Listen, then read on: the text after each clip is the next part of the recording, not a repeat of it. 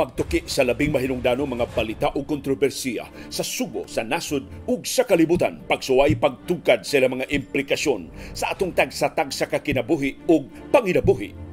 Baruganan kada alas 6 sa buntag mauna ni ang among Baruganan.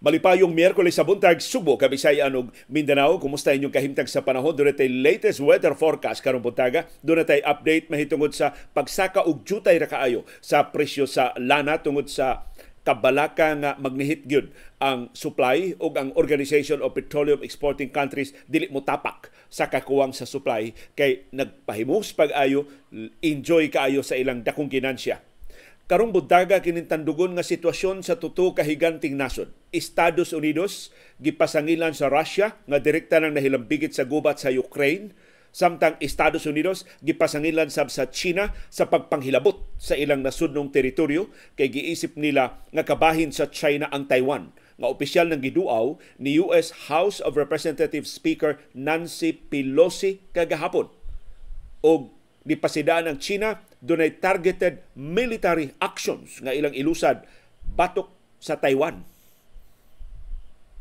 Nanimaho na bang gubat nuklear sa atong panahon? Ato na suyan pagtuki karong buntaga. Doon na sabtay update sa latest COVID-19 cases ni uso sugyutay ang mga kaso sa tibok nasod ug dinhi sa ato sa Subo pero gipasidan anta sa Department of Health nga posibleng tungod ni kay mas ubos ang tests ang PCR test nga gipahigayon kay mga numero kini sa niaging weekend ug ang mayor sa Cebu City nga si Mike Rama positibo sa COVID-19 pero usa ka adlaw sa wa pa siya makaplaging duna di ay COVID-19 nakighugoy-hugoy siya nga why face masks uban sa labing dagko nga mga politiko sa probinsya sa Subo. O karong buntaga, aksyon agad ang gihimo sa probinsya sa Bohol. Mahitungod sa mahal kaayo nga mga baligya diya sa Virgin Island sa lungsod sa Panglao sa Bohol. Ang mayor sa Panglao ni pahunong dayon. Sa mga vendors di na sila pabaligyaon diha sa Virgin Island kay nakaplagas mayor mahal gyud taas gyud ang ilang presyo. Gibalhin hinon sila baligya sa mainland sa Panglao. Samtang ang gobernador sa Bohol nga si Aris Omintado ni auhag sa Bohol Provincial Board pagpasar og ordinansahon aron pag-regulate sa tourism industry aron dili magpatuyang pag-abuso ang mga mamaligyaay o uban mga major players sa tourism industry ug labaw sa tanan kapanalipdan ang mga turista. O karon buntaga atong i-highlight ang media policy ni anhing presidente Fidel Ramos. Retiradong general, siya unta mo labing isog sa pagiglambigit siya mga kaatbang sa media, pero giunsa ni Ramos pagtratar ang mga sakop sa media nga nagsigi og panaway niya. Nagkasalamat, nakachamba mo, bisag tultulo na kaayo, tuyoon na kaayo kining atong uh, channel, pero lipay ko nga ni, ni kapi na sa 2,000 ang atong mga viewers. So, inanay nang nakatultol ang atong mga viewers ining atong uh, bag-on channel sa atong baruganan. Nagkasalamat sa inyong pailob o sa inyong uh, pag-agwanta. Kung gusto mong makalahutay mi, palihog i-subscribe kining among channel. Doon ako'y gamang tips sa subscription aron mas mapuslano ninyo na may red diha nga subscription button. Iniktan-aw ninyo kung wa pa mo maka-subscribe. I-click na. Unya human ninyo click na ay namoy makit-an nga logo sa bell. Numero og kampana nga gamay.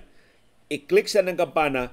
Unya naa diha ang options. Magpa-notify ba mo kung dunay mga live broadcasts? So i, i, i-choose na nga i-notify mo sa tanan nga mga live broadcasts ining atong channel. Aron dili na mo mapulan og tultol di na mo mapulaan og pangita. Asa ang YouTube na mismo mo mo pahibaw ninyo. Nga live na mi do na mi live program o makatan-aw na mo. Pag-click lang sa maong link makita na dayon ninyo makasugod dayon mo sa atong mga live programs. O palihog i-share na. Ngadto sa uban pa nato nga mga viewers kay mga jud mi upasaylo ining disruption sa inyong naandan unta nga pag uh, tan-aw namo do na lay mga uh, issues sa atong karaan nga plataporma mao na nga temporaryo una ko nga nag-broadcast diri sa atong channel sa YouTube. Plus nakat-on ko og libre nga paagi. Di na ta kailangan mobayad sa restream, di na ta mobayad sa caster, di na ta mobayad sa StreamYard, di na ta mobayad ining ubang mga ng racket sa pagpahimo sa interes sa social media. Doon na ako'y nakatunan og ako ning suwayan sa musulod nga mga adlaw. Gisuwayan ako ni gahapon pero wa magsilbi. Musuway ko og laing paagi uh, karong adlaw. So ayaw lang mo kahibong dunay mga test broadcast nga inyong mabatian gikan ining atong channel kana pagsuway-suway na nga maka simulcast sa YouTube o sa Facebook uh, ining atong uh, broadcast pero sugod ta sa uno sa atong uh, pag-broadcast kay nibalhin man ta og lain nga channel o lipay ko nga doon na tay mga live viewers ni ining higayuna sa YouTube akong suwayan og uh, roll call ang atong mga naka-comment na sa atong YouTube uh, channel ni ning uh, Higayuna. aron pasalamatan sila sa sayo nila nga pagmata, sa sayo nila nga pagtan-aw sa atong uh, channel karong uh, buntag. Maayong sayong buntag sa Miyerkules. Sa labing una naka-comment nga si Tyrone Talam, si Luz Ilanan, Jessica Alferez, Lisa Veles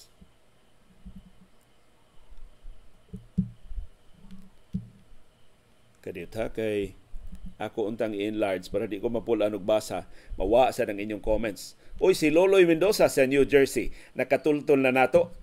Karong buntaga Eduardo Monares si Mirna Casinas Gilberto de los Santos Adelaida Balugbog, Jingle Orculio, nakatulto na nato, si Marnie Misa, Emilia Miguelien, Eric Makinano, Nino Valdis Peñosa, Nems Saceda, Jovi Ladanan, Los Biminda Cecilia Albor, Dean Discalyar, Georgette Valencia, Rico Sanchez, Pelnora Betonio, Roland Galion, Manuel Tero Jr., Federico Payot Jr., Martin Chua, Rocky Road, Domingo Cabando, Maria Rosario Ricaldo,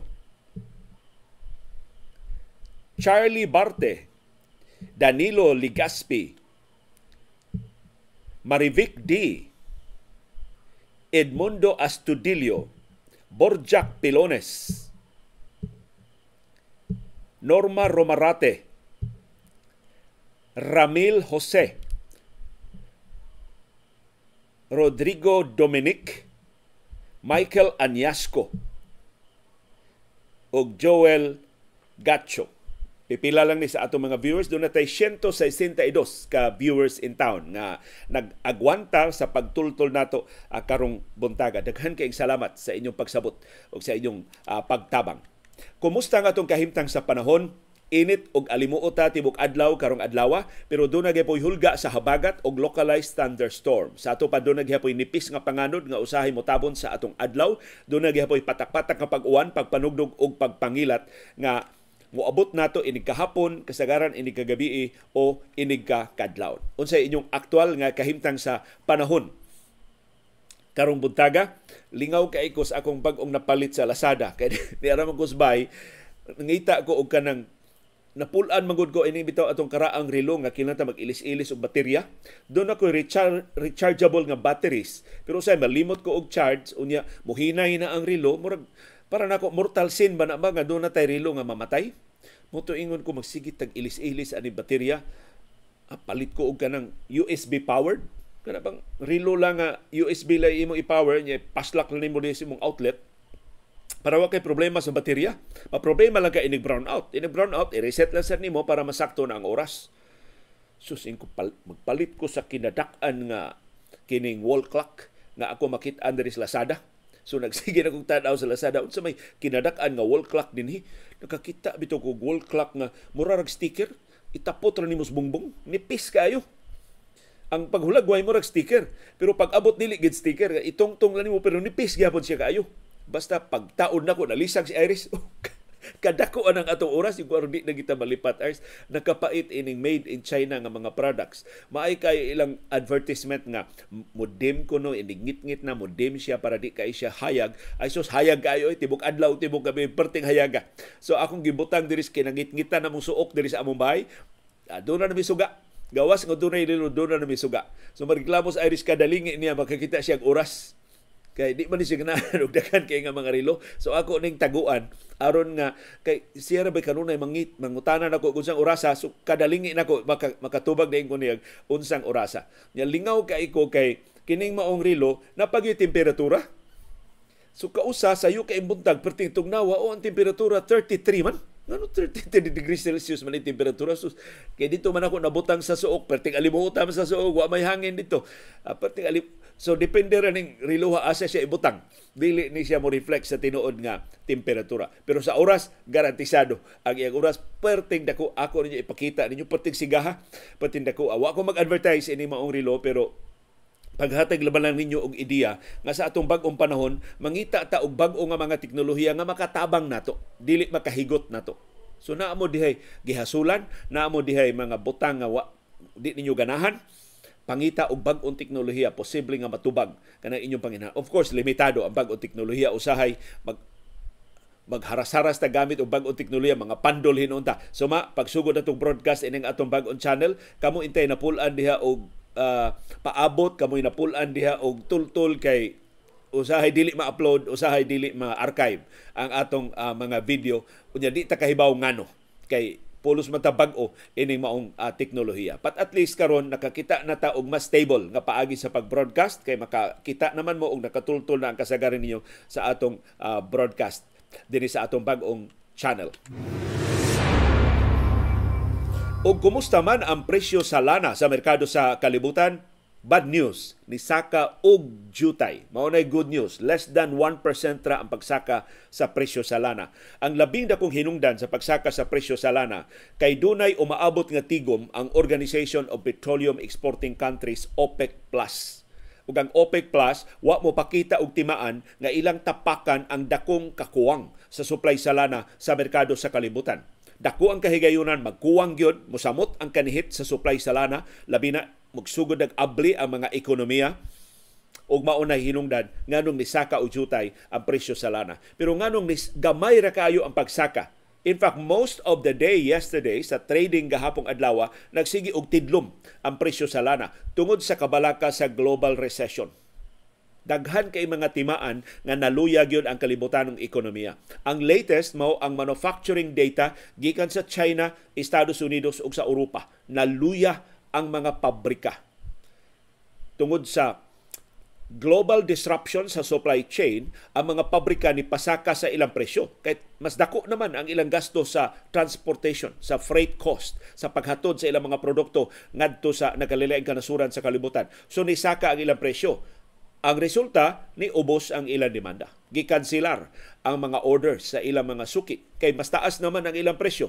So ni week ni weekend na luya ang manufacturing sector sa kalibutanon nga ekonomiya. O kana usana sa mga dili malalis nga timaan sa pagkaluya sa kalibutanong ekonomiya.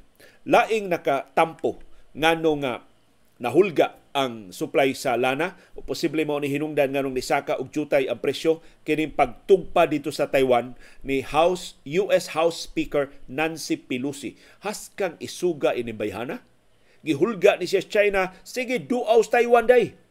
Kay gubato na mo ng Taiwan. Bahala kamoy maganto sa Estados Unidos kung magka rambula ang China ug ang Taiwan. Pero ni tugpag gahapon dito sa Taiwan si US House Speaker Nancy Pelosi. Number three sa line of succession sa liderato sa Estados Unidos. O kini si Pelosi dili ni siya pipitsugin kaniadto pa ni nga nakigbisog para sa demokrasya, para sa independensya sa Taiwan. Na atong subayon karon taon unsay kinatibuk ang implikasyon anang maisugon nga pagduaw ni Pelosi sa Taiwan sa relasyon sa Estados Unidos ug sa China ug sa kahigayunan simpakulayo ra to nga dunay gubat nga susama sa Ukraine nga muulbo tali sa China ug sa Taiwan. Ari una ta sa lain nga flashpoint nga direktang nahilambigit sa tong presyo sa lana nga bag-o lang giisgutan ang Russia direkta nang nipasangil sa Estados Unidos nga nag-apil-apil sa gubat sa Ukraine. Una ning higayon nga direktang gilambigit sa Estados sa, sa Russia ang Estados Unidos sa gubat sa Ukraine. Kaniadto ang mga pasidaan sa Russia kutobra sa suporta sa mga tabang nga gihatag sa Estados Unidos o sa European Union o sa ubang kanasuran ngadto sa Ukraine. Karon matod sa Russia, dunag yoy mga espiya ang Estados Unidos nga direkta nang nitabang sa Ukraine. Sumura og nangita og scapegoat ang Russia nganong wa pa nila mailog ang Ukraine lima na kabuan kapin human sa ilang paglusad sa gubat dako bay anang kaawawan kadako sa Russia kahiganti sa Russia komparar sa Ukraine nganong after more than five months wa pa man nila masakmit ang labing dagko nga mga syudad sa Ukraine including the seat of government sige pa man gihapon sa iyang mga mensahe hapit ka gabi si Presidente Zelensky sa Ukraine. Kanus aman mudaog ang Russia batok sa Ukraine. O karon ang Russia di man silang kapasabot aron pag save face, aron pagsalbar sa ilang kadungganan, dili sila higpit nga maawawan, ilan na karong gitumbok ang Estados Unidos. Mauning wa gyud mi kadaog batok sa Ukraine kay ang Amerika na mao'y nagda sa gubat sa Ukraine.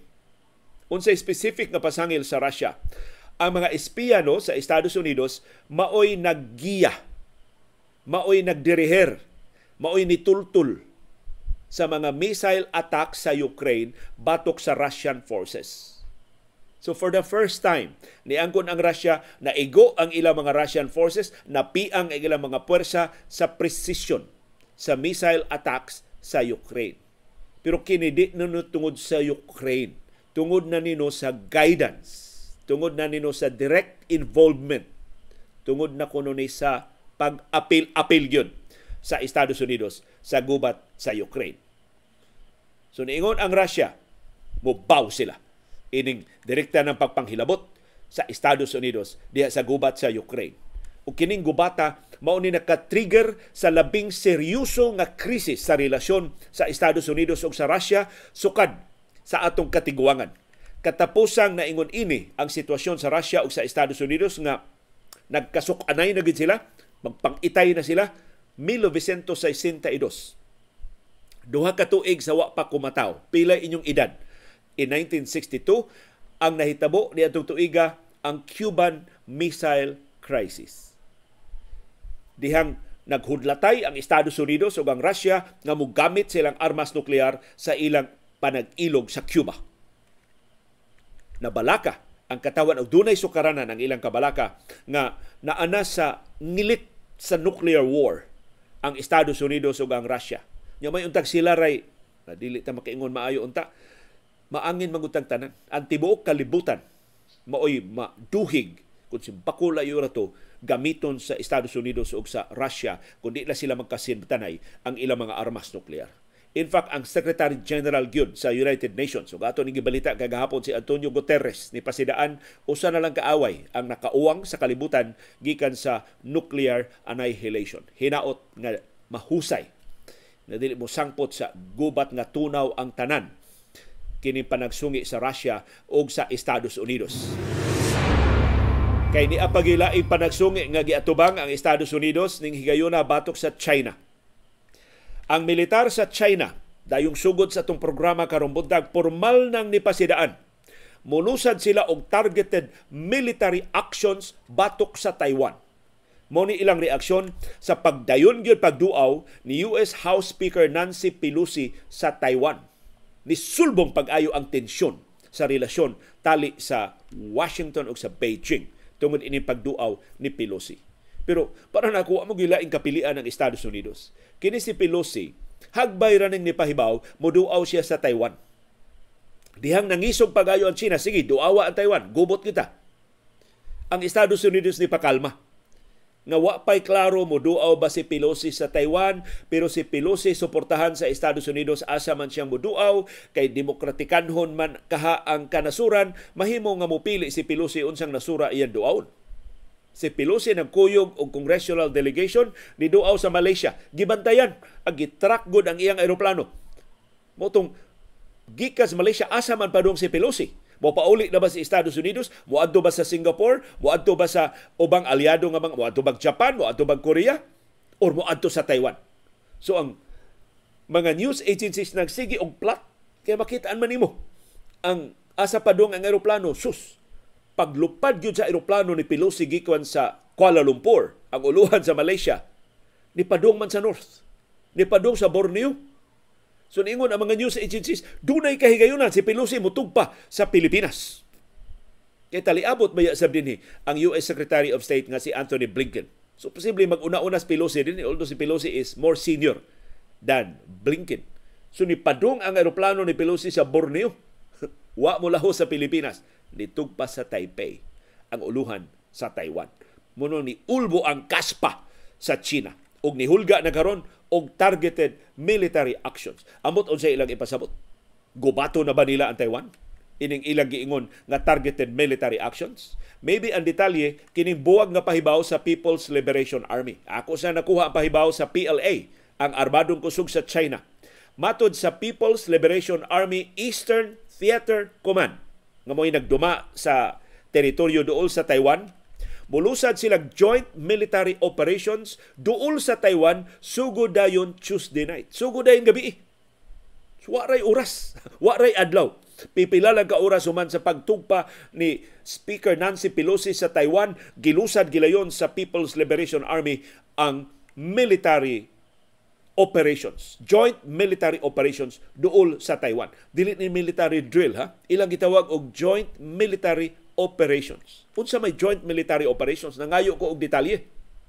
Nangita ko og detalye. Ang detalye ako nakitaan ilang i-test launch ang conventional missiles sa kadagatan silangan nga bahin sa Taiwan. So dili ang Taiwan mo ilang atakihon. Mag-test sila og mga conventional missiles sa China adto nila pahagsaa sa silangan nga kadagatan sa Taiwan ang military exercises maglakip sab og joint air ug sea drills sa north, sa southwest ug sa northeast sa Taiwan. So palibutan nila ang Taiwan ining ilang mga military exercises. Mupalupad sila mga aeroplanong igugubat, ipakatap, ipakatap nila ilang mga barko sa gubat sa amihanan, sa habagatang kasadpan o sa amihanan nga silangan nga bahin sa Taiwan.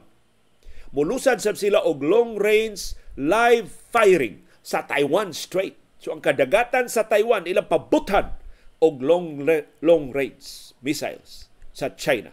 Ug ilusad sa nila ang missiles test launches sa kadagatan silangan nga bahin sa Taiwan.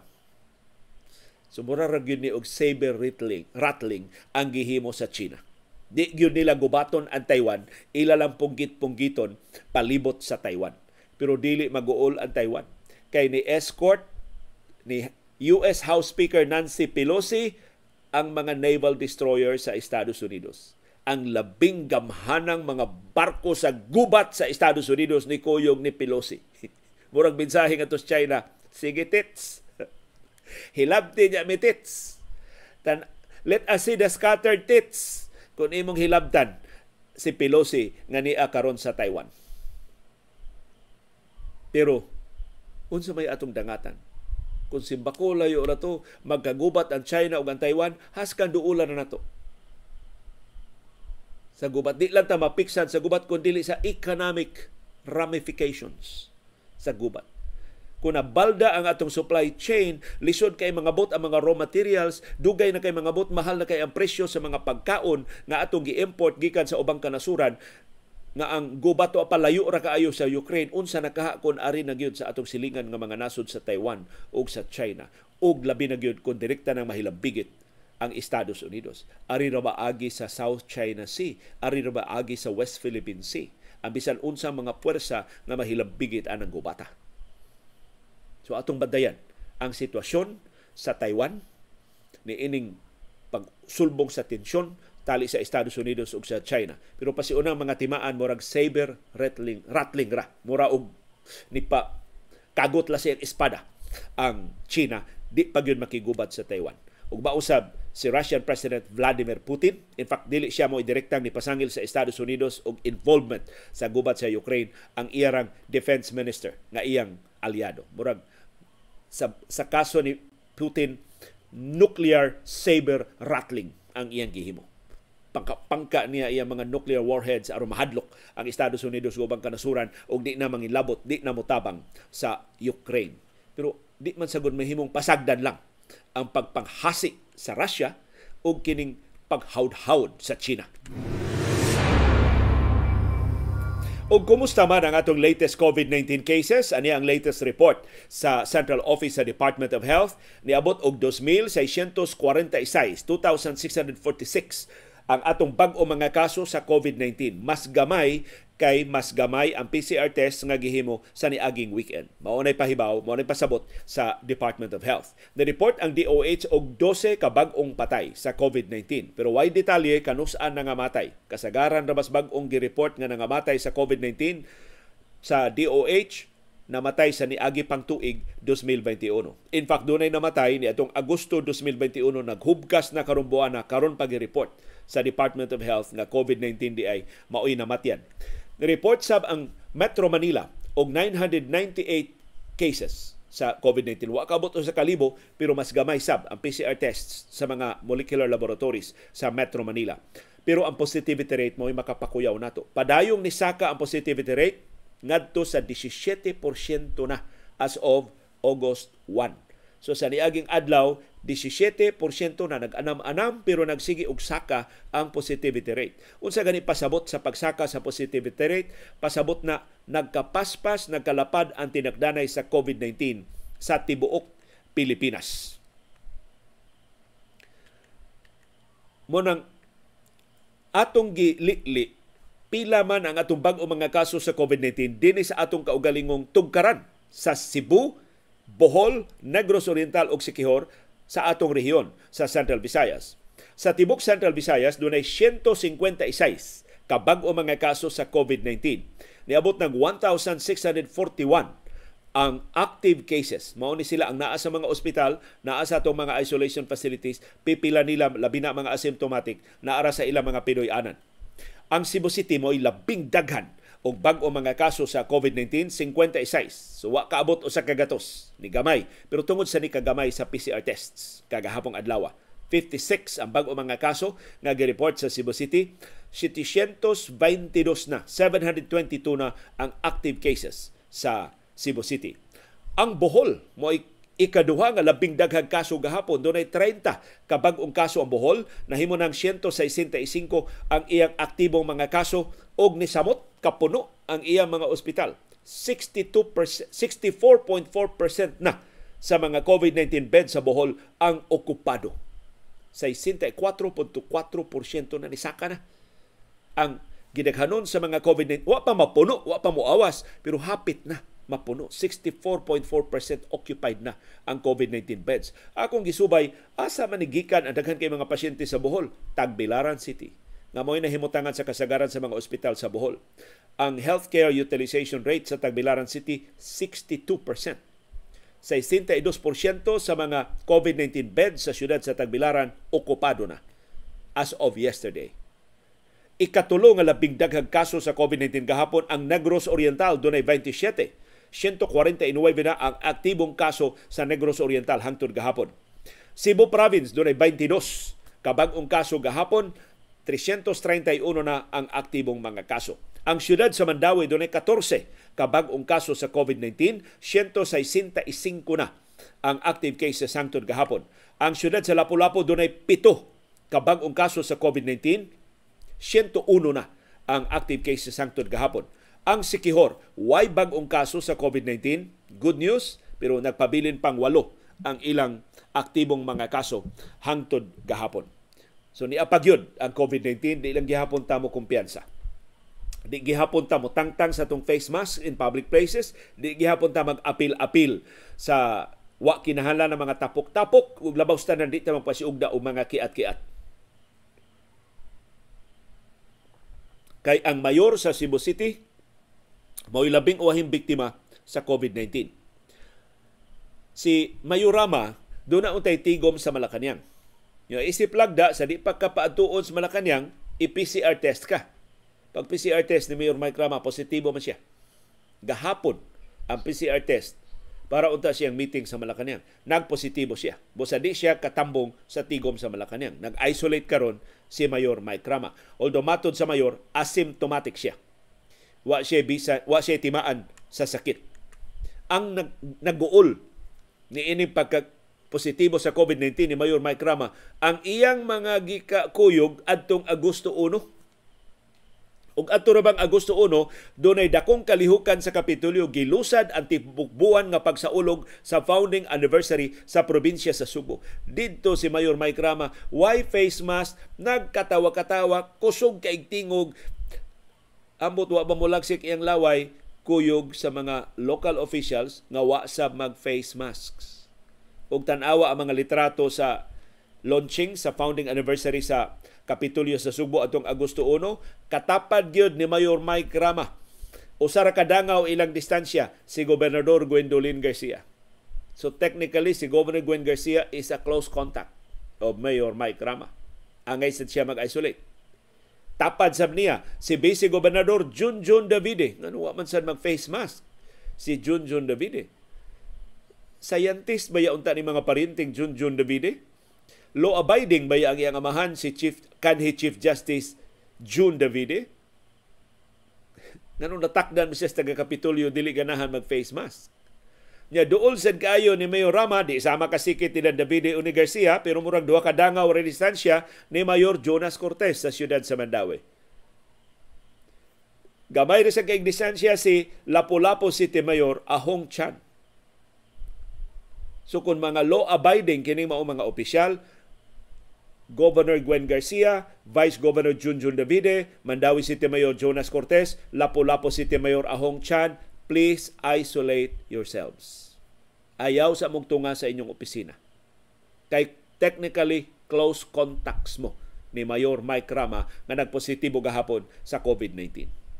Now of course, magpangikog ang Department of Health sa pagpasidaan ninyo, sa pagpahimat mo ninyo, pero you are technically close contacts ug ang lagda nagkadayon close contact gani ka isolate panidi ang imong kahimtang sa panglawas isolate yourself bisag wa kay symptoms isolate yourself kay tingali kon positibo ka asymptomatic lang ug makatakod ka labi ng mga tiguang, labi ng persons in comorbidities, sila hinoy maangin. Si, ikaw mo yung pakatap sa kagaw, ngadto nila. Og ari na ta sa kontrobersiya sa presyo sa Bohol. Ang initial reaction sa mayor sa Panglao nga tingali ko no kana bang normal nga reaksyon mga politiko? Butang-butang ra ni siya mga kaatbang sa politika. Kay init man kay eleksyon diha sa Panglao di atong Mayo 9 pero karon nakaplagan. Lehitimo gyud ang reklamo. Nitingog na ang tag-iya sa surveying office. Taga Leyte di ito ang nabiktima sa taas kay presyo diha sa Bohol. Matod ining tag-iya sa kompanya nga nida sa iya mga trabahante ngadto sa Bohol. Ila intawon tong premyo. Pero nabiktima hinon sila sa tagaliog nga presyo diha sa Virgin Island sa Panglao. Nagbakasyon sila sa Bohol sa niaging semana. Nang hinaot kinitag iya sa surveying office dili butangan og politika kining reklamo sa usa niya ka trabahante dili man siya mo ni reklamo ang usa niya ka trabahante mo ni reklamo og iyang gisuportahan kay tinuod man kuno nga nahitabo nang hinaot siya nga kining issue sa kataas sa presyo sa pagkaon sa Virgin Island sa Bohol susihon aron nga dili intaw ni makapatagam sa mga turista atol sa ilang tour diha sa Virgin Island sa lungsod sa Panglao sa probinsya sa Bohol ang ilang grupo ni bayad og 26,100 pesos para sa pagkaon sa 13. 13 ra sila nga sakop sa grupo. Kadto di ang saging nga atong ingon 20 ka buok nga ilang gibayrag 900, 19 ra day ka buok. 19 ra ka buok. Na ba ko'y calculator dire? Kadi ta kun ma niya ko'y calculator akong akong i bugo magugong math So atong suwayan og palaban tag calculator 900 divided by 19. 47 pesos 36 centavos ang kada saging diha sa Virgin Islands sa Panglao. Grabiha. Sea urchins, tag 100 pesos kada usa. Unsan man ang mga presyo ha? Matod ining tag-iya sa surveying firm, may unta maaksyonan nila kay dili man lang sad kami mo adto hasta ubang turista. Ma-enjoy sila sa lugar, maguol na manuon sila sa bayranan ighuman. Kini kompanya niya ni dili ni ordinaryo nga mga turista organized og ilang tour nagkuha nga ilang kwarta. Unsa kahaog ang imong bawon igo-igo ra. Di ka kagawa sa pang, sa Virgin Island. Tanggungon ka sa taga isla hantod makabaya pa, pahugason ka sa plato. Man platuhay. Wa man wa, gibutang ra man to sa saog. Ang ilang pagkaon. So lehitimo kining maong reklamo. Og daghang salamat sa mga opisyal sa Bohol bisan dili mao ang initial reaction sa mayor sa Panglao karon ang mayor sa Panglao si Edgardo Boy Arcay ni angko na giadto niya ang Virgin Island taas gyud ang presyo. So iyang ang mayor mismo ni konfirmar taas gyud ang presyo. Muna ang iyang gihimo gipahunong niya ang mga vendor sa Virgin Islands sa Panglao ay sa mog pamaligya. Gipahunong niya ang pagpaninda sa mga vendor sa Virgin Island sa iyang pagduaw gahapong adlaw, Abril 2. Matod sa mayor, may pagkamahal gyud. Mo ni sulti sa taga Bohol, overpriced gyud ang baligya dito sa Virgin Island. Otherwise, di niya pahunungon sa pagpamaligya. Nihangyo ang mga vendors nga mayor hantod lang biyernes ang among pagpamaligya. Wa, diha diha dayon. Gipahunong sila sa mayor pero aron dili sad makulban sa ilang kaldero, mamaligya sila diha sa mainland sa Panglao. Dili na sa isla pero anha sa mainland sa Panglao. Ug hinaot dili na sa makataas ang ilang presyo. So si Mayor Arkay aksyon agad. Si Governor Ari, Aris Omentado ni aksyon sabdayon. Mato ni Aris Omentado, we will fix this Isog man ni si Aris Omintado, anak ba ni sa gobernador sa Bohol si Anhing Erico Omintado. So ang usas mga aksyon ni Governor Aris Omintado mao ang pag-auhag sa Bohol Provincial Board pagpasar og ordinansahon nga mo regulate sa tourism industry. Si Mayor Arkay siyang bahin gipabalhin ang mga vendors gikan sa Virgin Island nga nasdaplin sa karsada at tubangan sa karaang munisipyo sa Panglao. Ana una sila mamaligya aron dili sila makulban og kaldero. Ang Departamento sa Turismo mususisab ining maong insidente ug mutabang sa pagiya sa mga stakeholders. Na atong klarohon dili ni sayon ngumupahamtang dayon kag price control. Nga ang sea urchins maura ni presyo ha, ang saging maura ni presyo ha, ang kinilaw maura ni presyo ha, ang tinuwa maura ni presyo ha, lisod kay na. Unsa man nimo pagpatuman imong hilngon dito tanang putahe, tagpila ang presyo, imong kuyugan ang tanang turista, you cannot physically do that. Ang importante ini mao ang pag-edukar sa mga stakeholders. Pahinumduman ang taga Bohol, ang mga mamaligyaay, ang ubang mga stakeholders diya sa Bohol, mga resort owners, mga transportation operators, mga driver sa mga tricycle, nga mo'y kasagarang ikadirekta og kalambigit sa mga turista, ayaw bunali ang mga turista be reasonable sa inyong rates.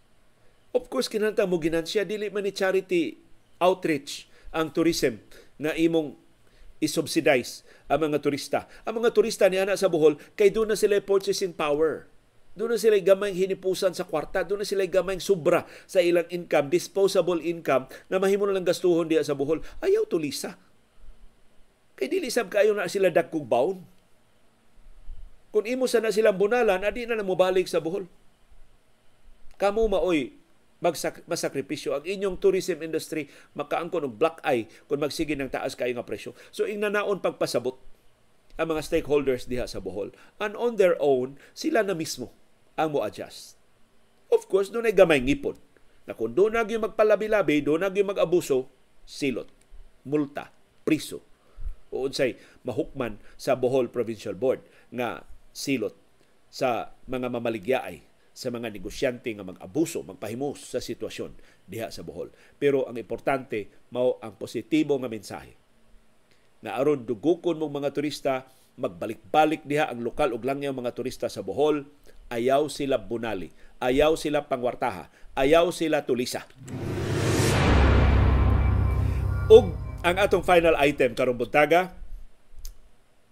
among gitumong sa pagdasig nato nga dili hopeless ang atong sitwasyon. Si anhing presidente Fidel Ramos sa tanang nangagi nga mga presidente maoy militar. So sa tanan untang nangagi nga mga presidente, siya gyud unta mo'y utok pulbura. Kay siya ba ni agi pagka-militar? Siya ba tinuod nga general? Napahawd-hawd raman to ng ubang nangagi nga mga presidente. Pero si Ramos gyud maoy tinuod nga alas. West Pointer dito graduar sa Estados Unidos, human siyang graduasyon sugod gisugba da is gubat sa Korea. Sud sa tutok ka tuig 1950 to 1953 siya ay nangu sa puwersa sa Pilipinas pakigubat sa North Korea nga niatake sa South Korea. So si Ramos is the real deal, was the real deal. Siya mo'y tinuod nga kamao anang natad sa gubat. Pero dili siya utok pulbura. Atul siyang administrasyon, ni perma siyang kauyunan sa kalinaw, uban siyang mortal nga kaaway si Nur Miswari sa Moro National Liberation Front. Kadaghan sa mga kaubanan ni Ramos sa militar na napatay ni Miswari sa natad sa panggubatan. Kadaghan sa mga sundao ni Ramos sa siya pa'y pangu sa mga manggugubat sa armadong kusog nga giluba sa Moro National Liberation Front diya sa Mindanao. Kadaghang mga kakustablihan nga sakop ni Ramos nga gisunog na igo sa bombardiyo sa MNLF sa labing dugoon nga yugtos gubat diha sa Mindanao. Pero nagdumot ba si Ramos? Iya bang gipahimuslan pagtungtong ni labing taas nga katungdana bantay lang kang miswariha ka? Lutuson jud ka? Tiluko jud ako ang imong puwersa? Niluwat ba sa Ramos og ingon ana nga mga istorya? Niluwat ba sa Ramos og mga panultihon nga all-out war? Siya labing siya mo'y dunay katungod pagluwat ana kay siya nahibaw. Pero kang Ramos, all-out peace Ni pirma siya kauyunan sa kalinaw uban ni Nuriswari, iyang gi-repeal ang anti-subversion law. Gihimo niyang legal ang membership sa Communist Party of the Philippines.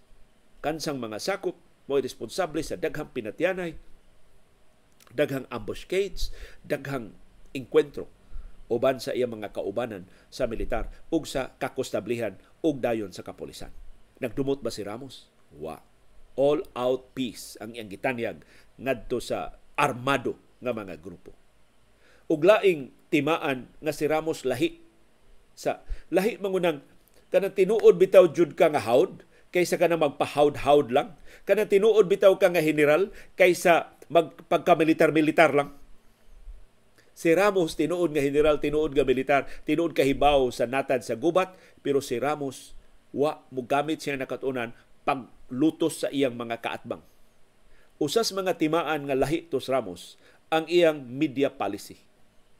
Atol siyang administrasyon, si Fidel Ramos na mao sumsuman sa daghan kaayo nga mga huhungihong. Gihugon-hugon tos Ramos dunay kabit, gihugon-hugon tos Ramos dunay laing pamilya. Gihugon tos Ramos nga karelasyon o sa ka-socialite nga mag pag, pagwapa ra bagim presentar mo pre, presentada kay siyang naong sa publiko. Mas visible pa ni Ming Ramos ang tinuod nga First Lady pero naapektuhan pa si Ramos sa mga mga ho. Katawa lang si Ramos. Wa niya gukda ang mga sakop sa media nga nisaway niya, nga na-expose sa iyang mga extramarital affairs. Unsay gibuhat ni Ramos?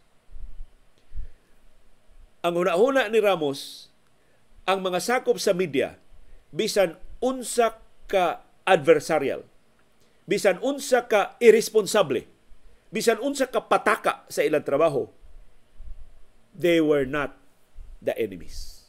So mao iyang assurance ko dili ni mga kaaway sa republika. Wa ni sila ganahin ako pero di ni sila kaaway sa republika. Nahigugma sa ni sila sa nasod. So mo iyang presumption na mga sakop sa media bisan katong di gyud ganahan niya dili niya kontra. In fact, si Ramos maoy most voracious reader sa ilang trabaho iyang basahon ang ilang mga artikulo batok niya. Ug iyang sabton nga no man ni nganong inani man ilang suwat, diin man gikan ang ilang kasayuran, sayop man ni ang ilang information.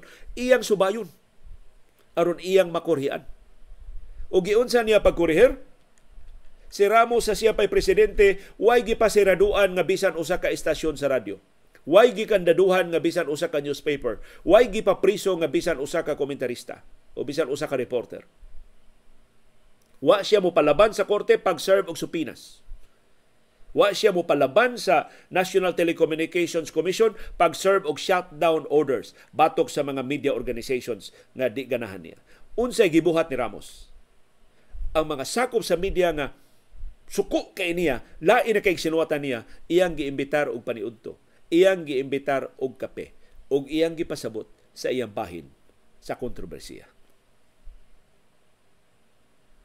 Daghang salamat sa padayon nga pagpakabana ug pagkibisog pagtugkad sa mga implikasyon sa labing mahinungdanon nga mga panghitabo sa atong palibot. Aron kitang tanan makaangkon sa kahigayonan pag-umol sa labing gawasnon, labing makiangayon ug labing lig-on nga baruganan. Mao kadto ang among baruganan. Unsay imong baruganan? Daghang salamat sa imong pakiguban.